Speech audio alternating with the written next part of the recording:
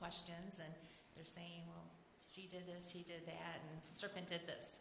So God is telling the serpent what's going to happen. So in verse 15 it says, I will put hostility between you and the woman, and between your offspring and her offspring. He will strike your head, and you will strike his heel.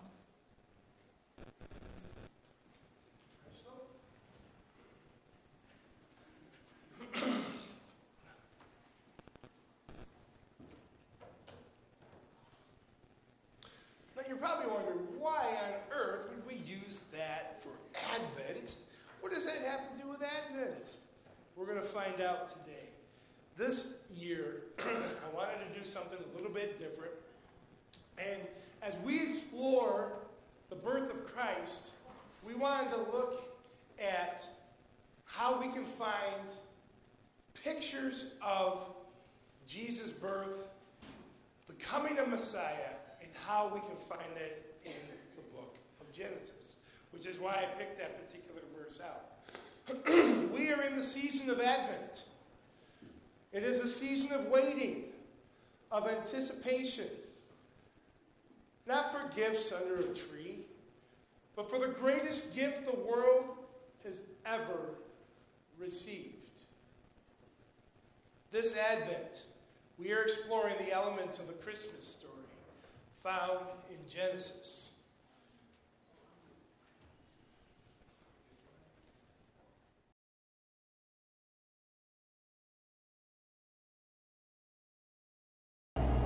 him.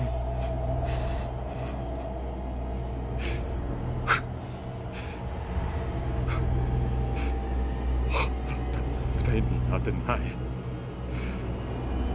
Nu er jeg til at meni.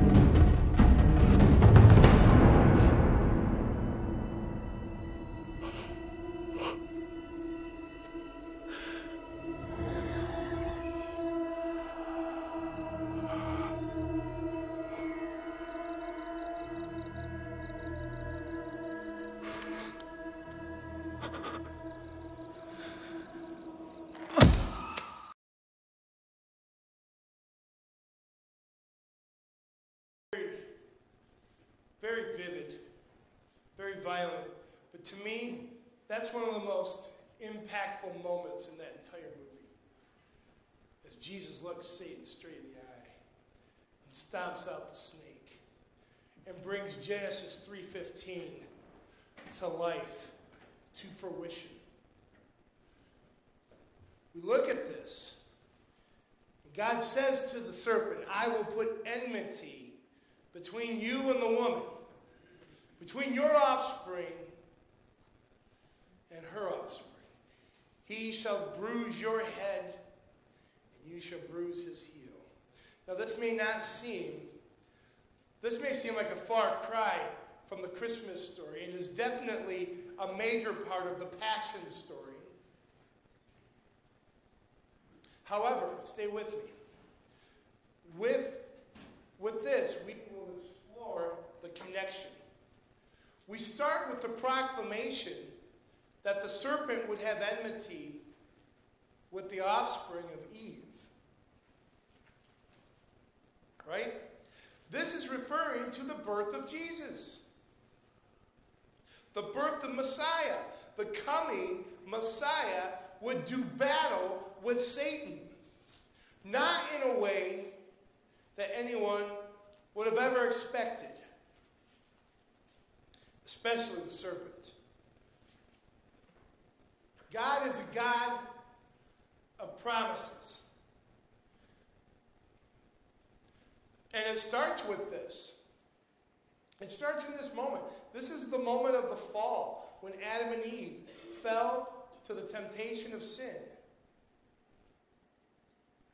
They believed the lies that, that Satan told them, and they gave in. Adam and Eve. Now, let's keep cruising here and let's turn to Isaiah 7:14.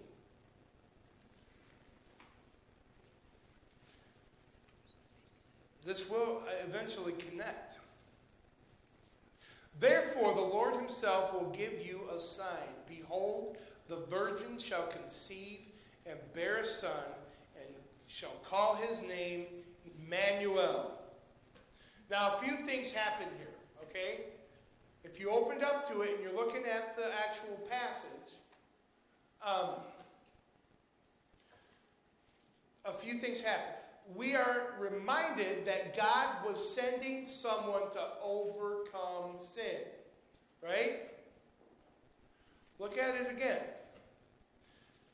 Therefore, the Lord Himself will give you a sign. Okay?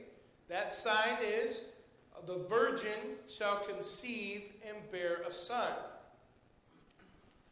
So, to overcome sin is to overcome the serpent. To overcome the serpent is to overcome Satan.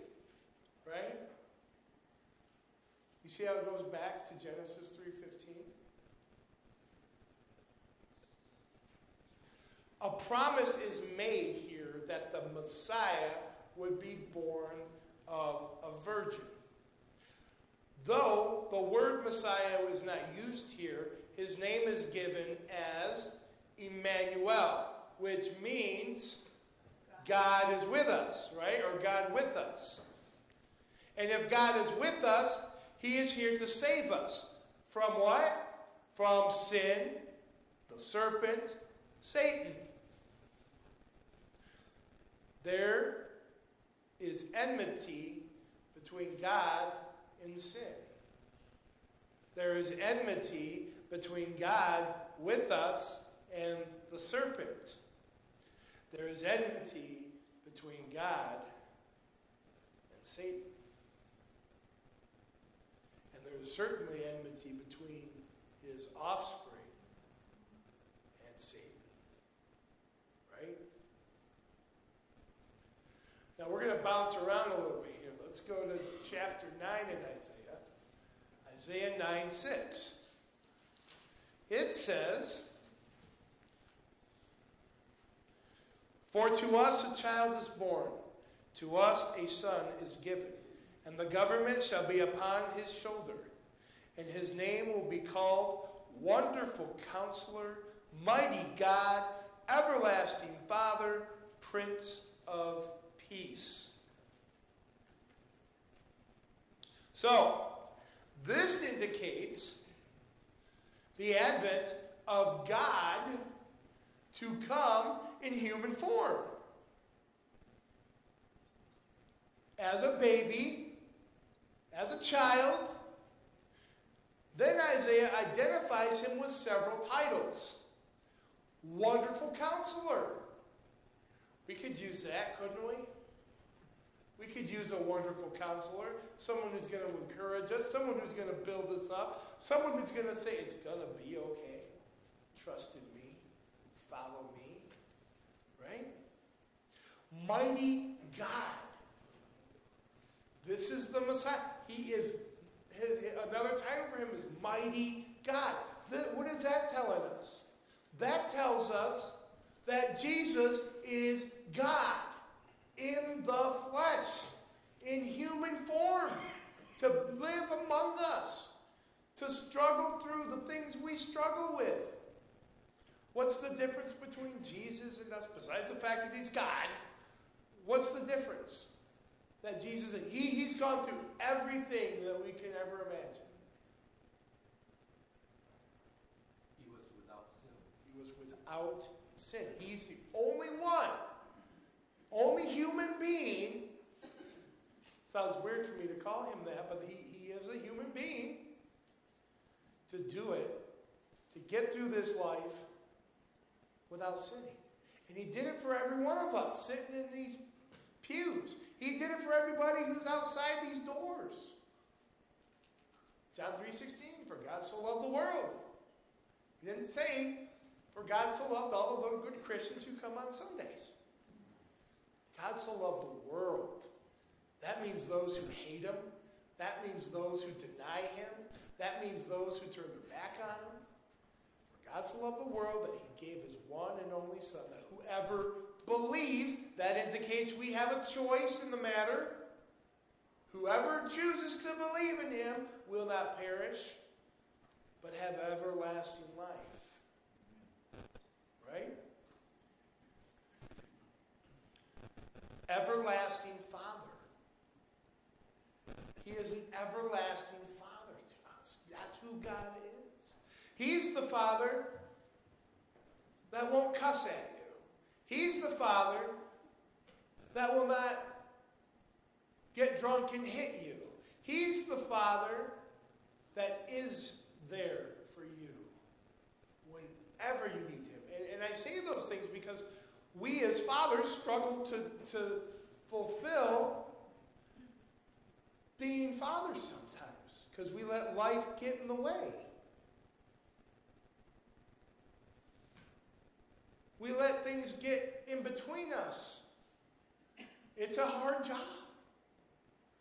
But He is our everlasting Father who will never let us down, who's always there. We as fathers have the best role model ever. Right? Prince of Peace. That's where we get our peace candle from, right? He's the Prince of Peace. I look at these candles, you know, and and this is a, like I say, always, and I try to always reiterate, this is a man-made tradition. You don't have to do this to draw close to Jesus. But for me, growing up as a kid, it was a really fun way to focus more on Christ. I didn't understand it at first as a kid. But the more we started doing it at the church that we went to, the more it helped point me to Jesus. But you don't need these things. These are just reminders. Let your light shine. Let the light of hope shine in your heart. May you find peace. Now, it's interesting that we're talking about peace this week. And our life in the Behr household is not, never, ever, ever boring. I don't ever get bored. Um, with Caden and Nathan, and of course, you put me in the mix. The three of us together, we're just a bunch of nutheads. We really are. And my poor, please pray for Rachel. it's not easy living with Behrs. And, but, there's a lot of, I mean, it's just a lot of craziness, and there's a lot of things going on, and this is going, that's going, this is going. And we don't, we don't have a whole lot, we don't have a lot of sit down. We, one day, hopefully, I mean, um, we'll see more of that. But we have this one thing that we do every single night without fail. We have, we have a, we have, I just call it the bedtime routine because that's what it is. But it's a special routine for us because it's the only thing that we do consistently on a daily basis. And I'm not saying that to brag about us. I'm just thankful we have something that we can come to, even no matter how crazy the day has been. We get, you know, get your teeth brushed, yep, yep, yep, get that done. Then we have a time where we, we have a devotion. And right now, we're doing the Advent devotions. And so we read scripture, we hear pieces of the Christmas story. And that's what's fun about Advent, too, is it breaks the story up as we build up to lighting that fifth candle, the Christ candle. It builds the story up, and you hear a little bit more and a little bit more. But you know what Satan does? Satan does everything he can to destroy that. And sometimes it's dad getting impatient with the boys, and the boys all of a sudden amped up three notches when it's like, oh, bedtime. All right, let's go nuts, right? when, when, when, when you want it to be a time where we calm down. Most of the time, it is. But Satan attacks that and can tear that up and can mess that up.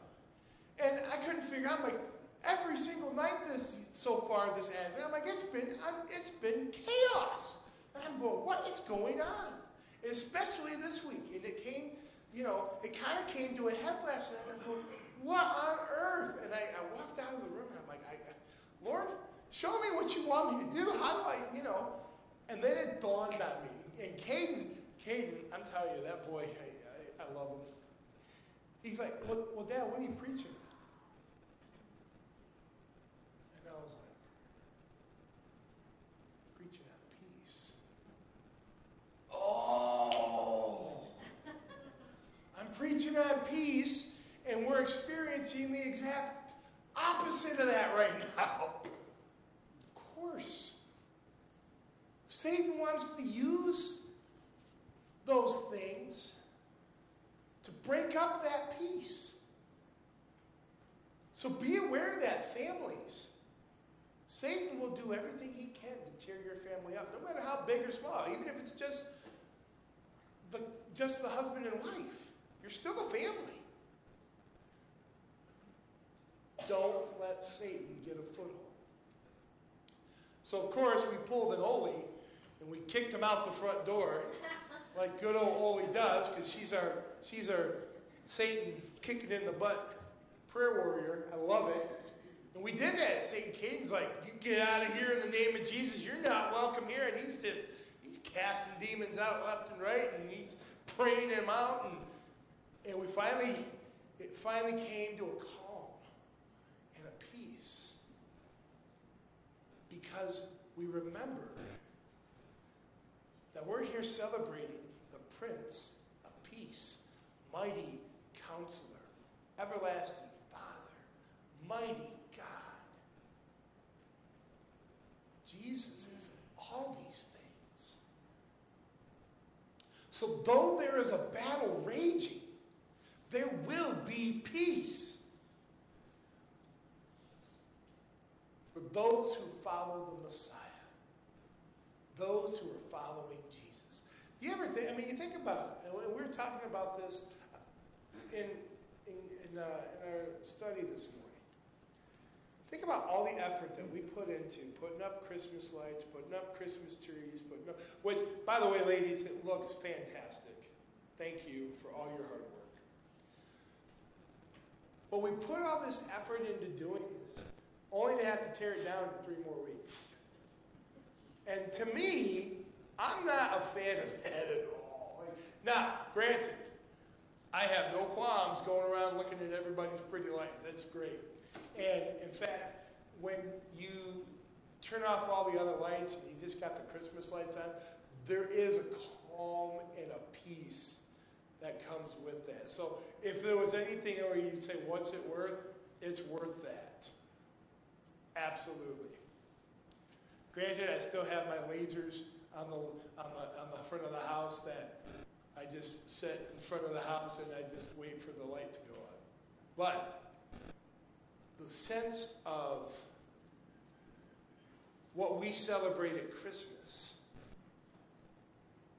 I really do pray that someday we'll become a people who are more excited about the presence of Christ than a bunch of boxes. Because so much more important. These gifts that we give each other, you know, somebody also mentioned this, which I thought was interesting. Is, can you remember what you got for Christmas last year? Like, can you name one thing you got for Christmas? I have to actually think about it.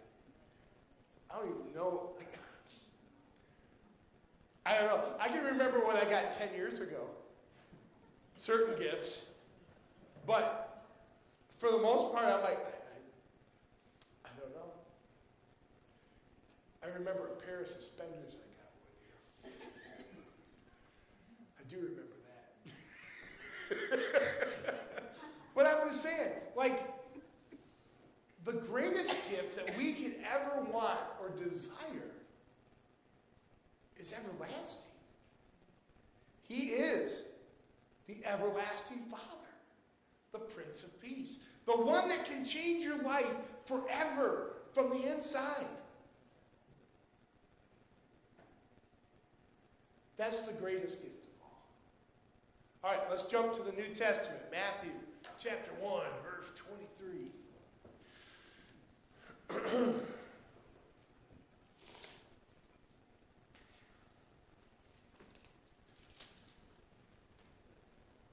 Behold, the virgin shall conceive and bear a son, and they shall name call his name Emmanuel, which means God with us. Now, why would I read that again? Oh, because it's not only in the Old Testament, it's fulfilled right here in Matthew in the New Testament. See how Matthew confirms what Isaiah says about Emmanuel? Who is Eve's offspring? Who has enmity with the serpent? God orchestrated his story to connect from beginning to end. We see glimpses of Jesus throughout both Old and New Testaments. We see Jesus in creation when God said, Let us make man in our image. Genesis chapter 1. Let us make man in our image. That means Father, Son, Holy Spirit. And if you ever hear on Wednesday, 1 plus 1 plus 1 equals 1. I know. Wrap your mind around it. I'm still trying. Right? We see him when Abraham meets the three angels. Three. Father, Son, Holy Spirit. There he is again. We see him show up with Shadrach, Meshach, and Abednego. Who is that angel? Is it an angel? I think it was Jesus himself. Doesn't say that. But he kept them from burning up in that furnace. We see him for the first time in the flesh in the town of David. The town of David. Oh, little town of Bethlehem. Right? Away in the manger. No crib for a bed. Prince of Peace, God with us. This truly is a season. Though we are in a time of turmoil. I mean, how many of you during the Christmas season are filled with peace? Be honest. If you are, awesome, good, you're getting it.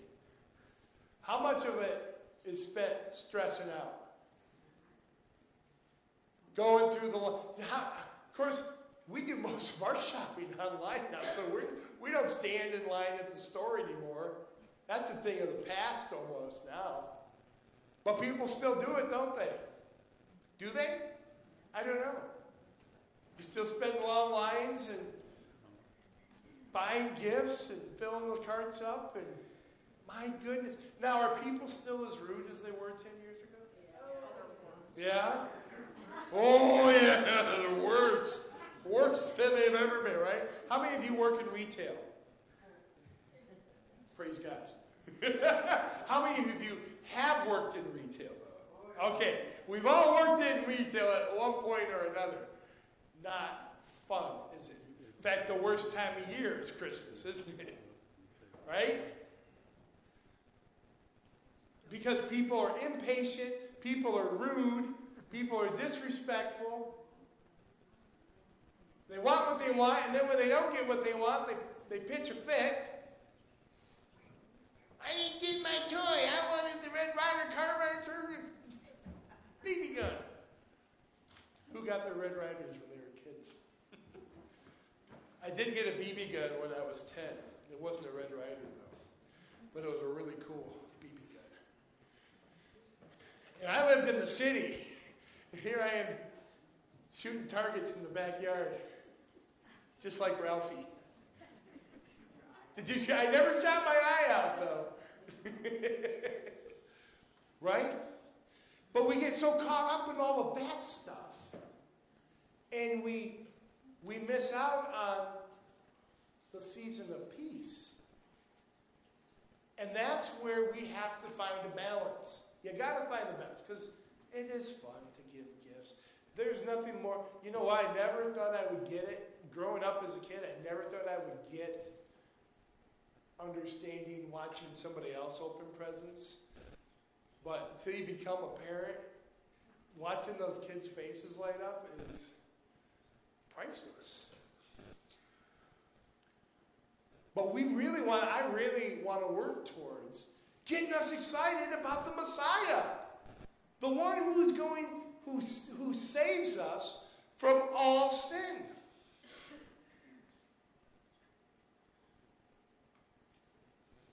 He is our peace.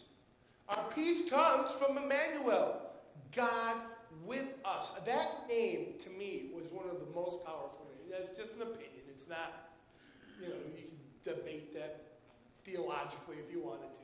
But for me personally, I love the name Emmanuel because it means God with us. That literally means that God, the God of the universe who created all things, became a human being to live among us. I mean, think about that. How exciting is that? How cool would it have been to have been a, a disciple walking with Jesus? I'd probably be the knucklehead always getting in trouble.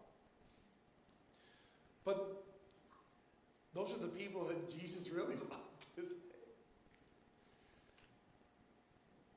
So, looking at the end of the story, we're going to jump even further to Revelation. What? Revelation? In the Christmas story? Let's take a look here. Roman or Revelation 12, starting at verse 4b.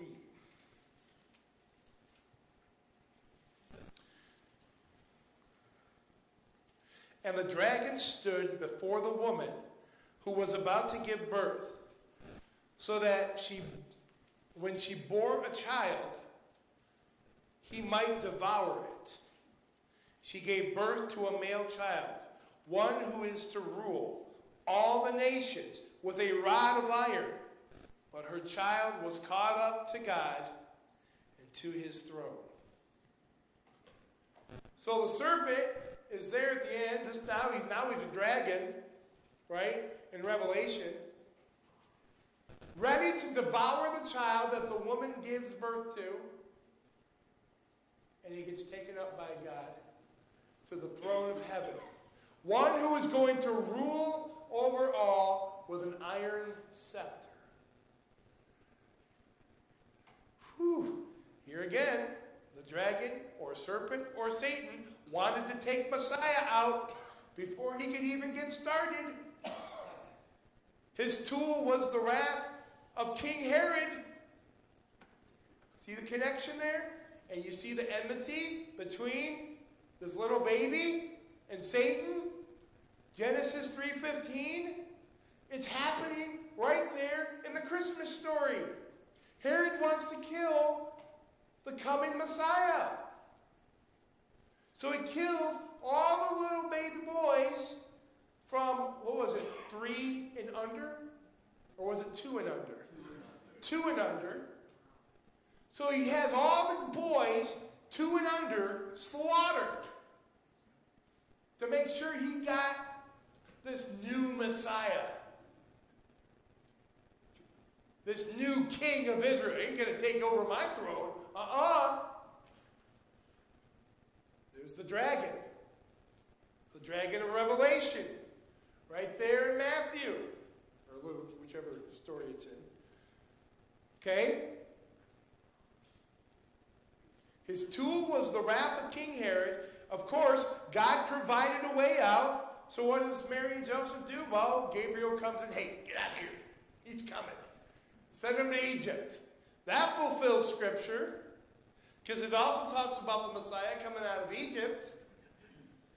Then look at what Paul says in Romans. Romans 16 20.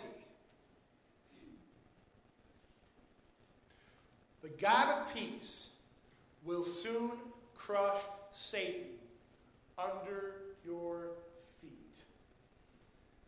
The grace of our Lord Jesus Christ be with you. Now, how cool is that? I will put enmity between you and the woman's offspring. The God of peace will soon crush the serpent's head, if you will, will crush Satan under your feet. The grace of our Lord Jesus Christ be with you. The God of peace will crush Satan under your feet. Genesis 3:15. Really, the birth story of Jesus ties the bigger story of who God is altogether. And it's right at the beginning of the New Testament, which really is kind of a little bit past the middle of the Bible. Right? As you continue to celebrate Advent this season, remember that God has had a plan for our salvation from the beginning. And it will come together in the end. People often ask me, what, what, what, what tribulation do you believe in? Well, you pre-trib, mid-trib, post-trib. So it doesn't matter. What matters is that you're following Christ whenever the tribulation comes. Whether he scoops us up before, I'm really hoping for that. But in reality, follow Jesus.